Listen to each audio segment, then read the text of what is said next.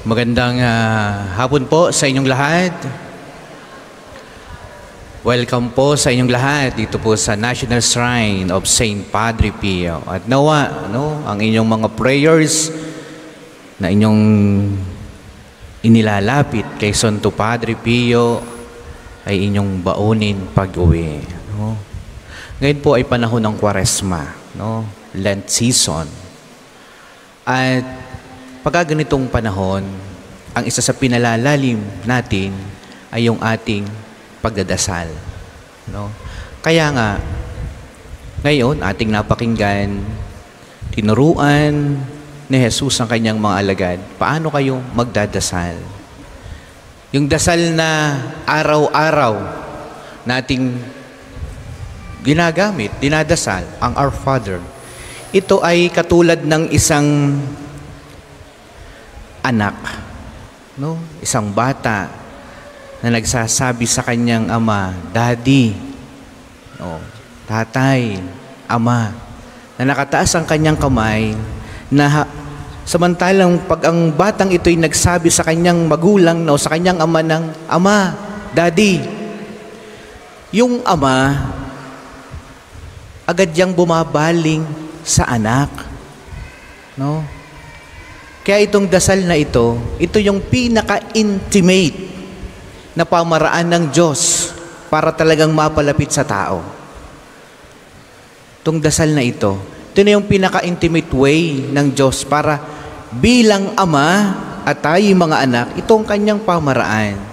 Pero meron siyang hinihiling ano, sa ating paglapit sa Ama at pagtawag natin ng Daddy, Aba, o Father.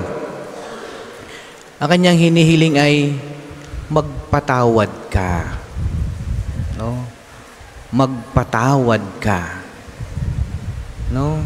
Yun ang kanyang hinihiling sa atin. Bago tayo tumawag ng Ama, Ama ko, Ama namin, ang kanyang request, no, bago ka lumapit sa Ama, patawarin mo muna ang lahat ng mga alam mo'y nakagawa sa iyo ng di maganda.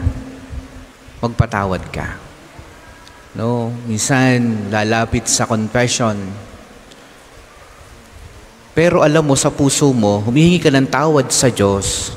Pero alam mo, napakadaming tao ang hindi mo mapatawad-tawad. No?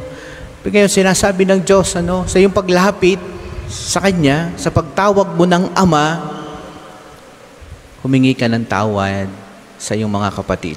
No? Humingi ng tawad. At sa iyong paghingi ng tawad, ngayon, makakapangumpisal ka. Makapagsisi ka. No? Mayroong talagang tao na gustong humingi ng tawad sa Diyos, pero di man marunong magpatawad.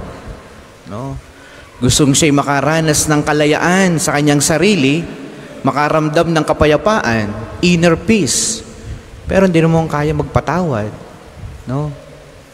Kaya, yun ang hinihiling ng Diyos sa atin ngayon, ngayong araw na ito. Tinuruan ni Jesus ang kanyang mga alagad kung paano lumapit at maging intimate sa Diyos. Pero kanyang hinihiling ngayon naman, tayo ay magpatawad.